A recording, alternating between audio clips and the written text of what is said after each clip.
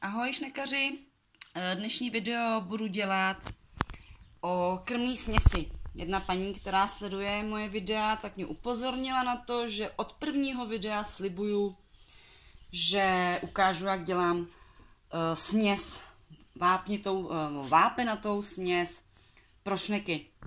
Tak já vám dneska ukážu ten úplný základ, který vy si potom můžete doplnit o, o bylinky, o sušenou zeleninu, sušený ovoce, takže vám ukážu ten úplný základ.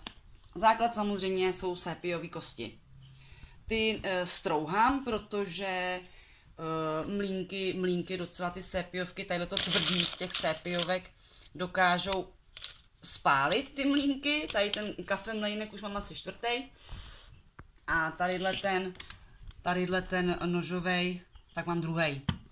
Takže sépiovky strouhám na struhadle a to tvrdý, co mi tady zbyde, tak nalámu fakt úplně na kousíčky a to, co nejde už ani odlomit, tak prostě dám těm šnekům, oni to jakoby dodlábnou někteří a takový ty, ty šupinky, to pak hodím tady do toho mixéru, do toho a, a semelu to dál. Takže sepiovky to je vlastně jakoby největší podíl té směsi, co dělám.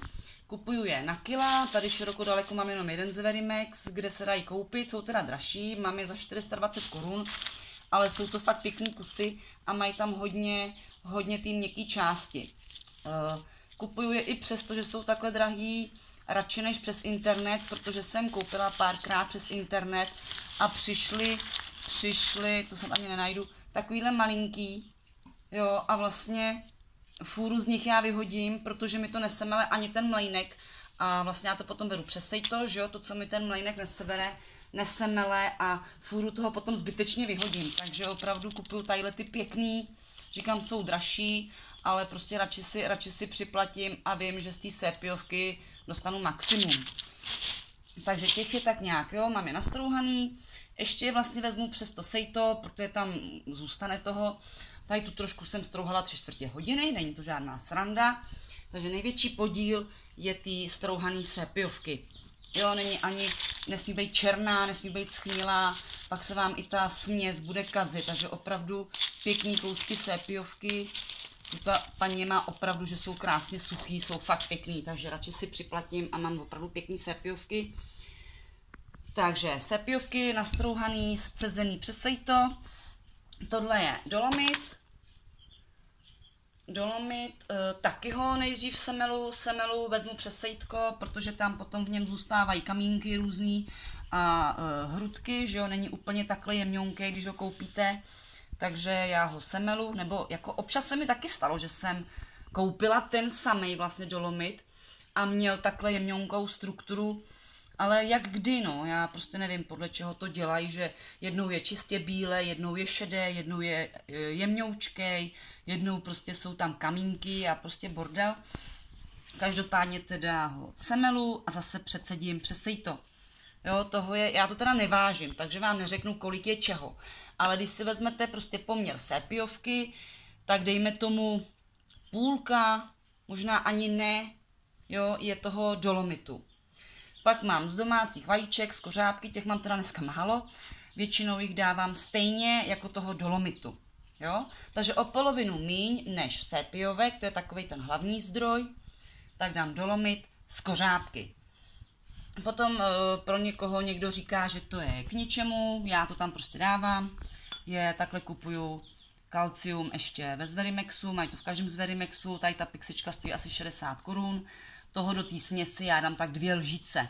Jo? Je to fakt takový jakoby na přilepšení, takže prostě je to takový čtvrtý zdroj vápníku.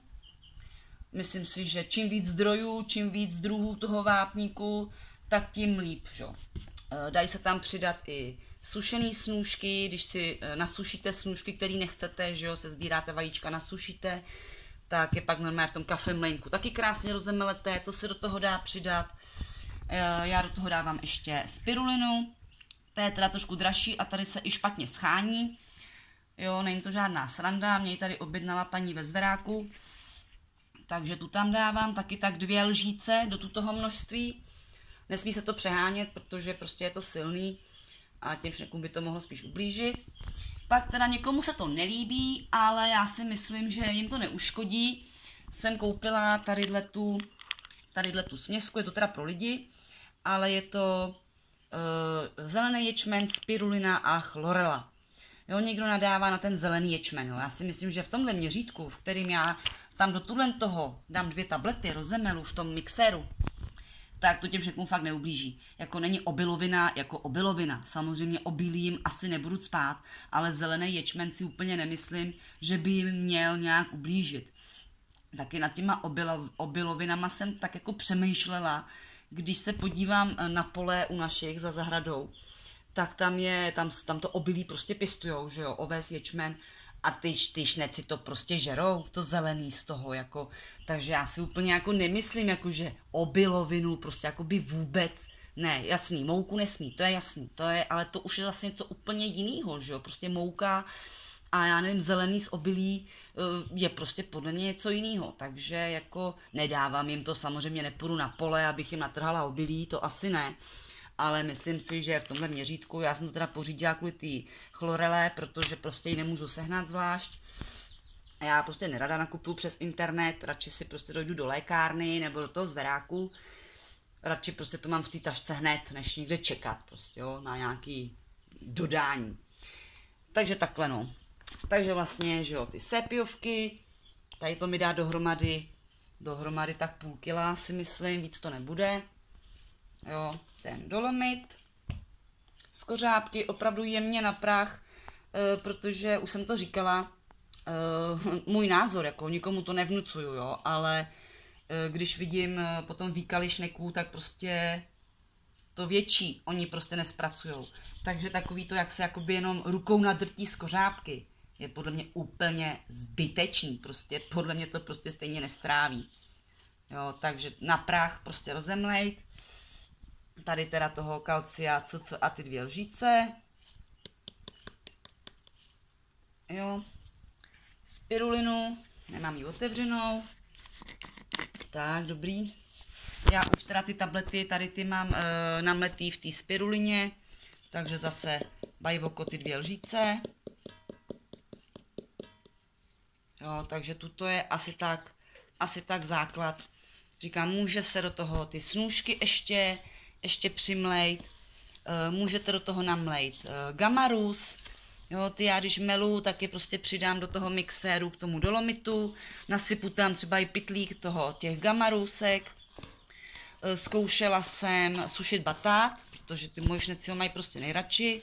A když potom potřebuju třeba někam odjet, tak asi jako ta alternativa toho krmení suchýho je asi, asi jakoby dobrá, nevím ale když jsem nasušila ten batát, než jsem ho nastrouhala, pak jsem ho sušila normálně na topení, asi čtyři dny stačily a ten mixér mi ho pobral úplně, úplně na prášek, takže to taky nebylo jako špatný, zatím jsem nic jiného neskoušela, jenom ten batát.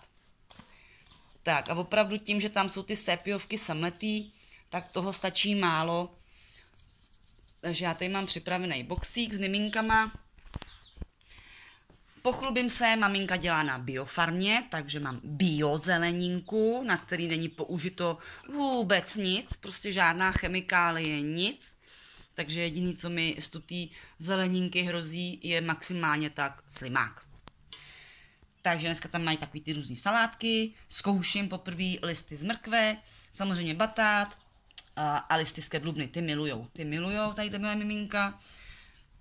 No a teď tady ty směsi opravdu stačí prostě jenom, jenom lehce, takže vy když si uděláte, já nevím, půl kila, jako si dělám já, já teda mám těch šneků fakt hodně, takže, takže mě to třeba stačí, tady ta půl kilovka, nevím, tak na měsíc, jo. Ale pokud máte jednoho, dva šnečky, tak opravdu s tím vystačíte, jo, takže opravdu jenom takhle lehce prostě pocukrovat a vím, že, vím, že jim to stačí. Oni prostě tu sépiovku nechtějí, a, a jako i když si ji občas zobnou, jo, říkám, takový ty zbytky jim tam dávám, tak ale není to, není to v takovém měřítku, aby, aby prostě jim to na ty ulity, hlavně těm rostoucím šnekům stačilo. Velký šneci mi ty sépiovky nechtějí vůbec. Jo. když jsem začínala, zkoušela jsem ty vaječní skořápky, že jo, dávat podle rád chovatelů eh, a prostě podle mě tu skořápku prostě nespracujou tak, aby to, aby to stačilo. Jinak jsem v jednom videu viděla jakoby náhražku, náhražku za vápník uh, Gamarus. Gamarus není, není, není zdroj vápníku. Gamarus je zdroj bílkovin. Jo. To je něco úplně jiného prostě. A tu bílkovinu třeba v téhle směsi tak dodává i ta spirulina jo, a chlorela. Takže a já tam ten gamarus nedávám moc eh, ráda nebo moc často, protože když to potom ty šneci nesnědí hned, tak to v boxu smrdí. Jo, tak gamarus prostě přece jenom je to masíčko, že jo, i když sušený, tak v tom vlhku prostě uh, smrdí. Takže já pro sebe tak si dělám takhle tu, směs a pak ještě třeba si odeberu trošku a do toho přidám ty gamarusky, kterým, kterým uh, potom ty směsi tam dám podstatně míň, míň než, než uh, takhle toho vápníku, že jo. No, takže to je tak nějak, tak nějak asi všecko, no.